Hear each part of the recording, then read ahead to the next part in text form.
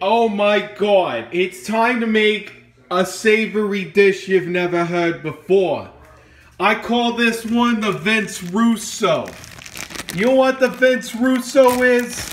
It's something you've never seen before. What you do is you get a tortilla wrap like this. Alright? And now you're already sold. You already selling a million tickets. You already got the book. You get some Jif peanut butter. I don't know if it's GIF or Jif. I don't care. Alright? So now what you want to do is you want to get a knife. Alright? Not a sharp knife. You ain't trying to commit genocide here. You want to open up the peanut butter. Alright? And you see how much peanut butter? We don't got much peanut butter left. But, you know, this is the Vince Russo. Phone goes down. It's just fucking peanut butter, man. I don't get what the big deal is. They all want to talk about me.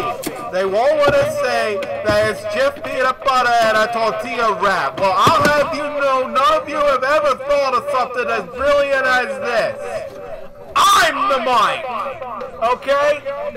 It's just Jif peanut butter and a tortilla. There's nothing special to it. And when I do it, it's so good. Oh my god, it is so good. We're gonna make this happen, and it's gonna be the most over thing to ever happen in the history of humanity. Don't even question my brilliance. Now you got your Vince Russo almost done here.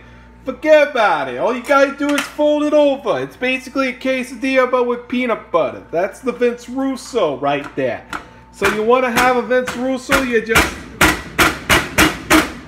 you just get a quesadilla, you fold it up and uh, put peanut butter in it. It's the greatest thing that's ever been invented by mankind. All right, and then you want to take a little bite. Let's give it a taste test, huh?